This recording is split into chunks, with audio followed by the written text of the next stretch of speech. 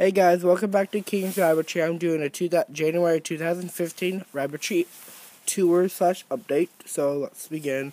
Um, as you see in my last video, there was barely any snow. Well, as you can see, the snow has came and to torture me. So in here, I have my three Mini Rex does.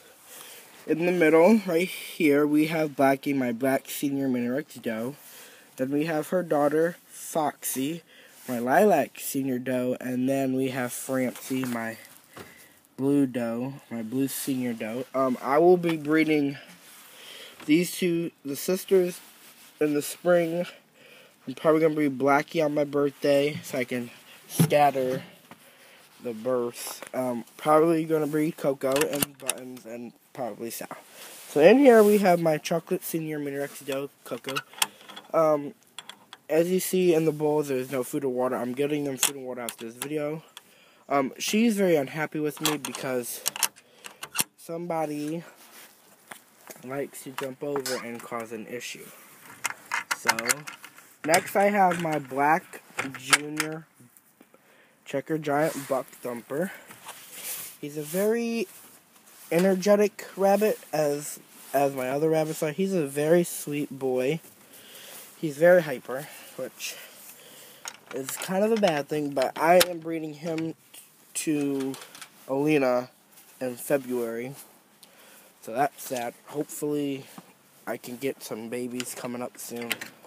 Next I have my broken black Charlie Senior Doe Buttons and her best friend Sal, who is my broken black Senior Doe as well. Um, so they're best friends all of a sudden. So probably gonna breed Buttons in the spring along with Sal. Probably just gonna scatter them month by month, just to be precautious on them first and stuff.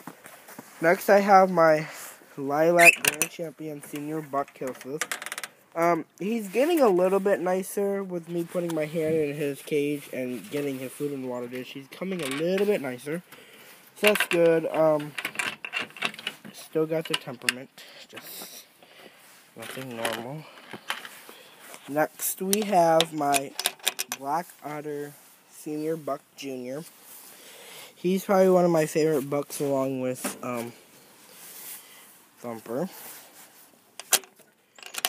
Then all the way over here by herself. Oops, almost fell. Oh, uh, I hate the snow.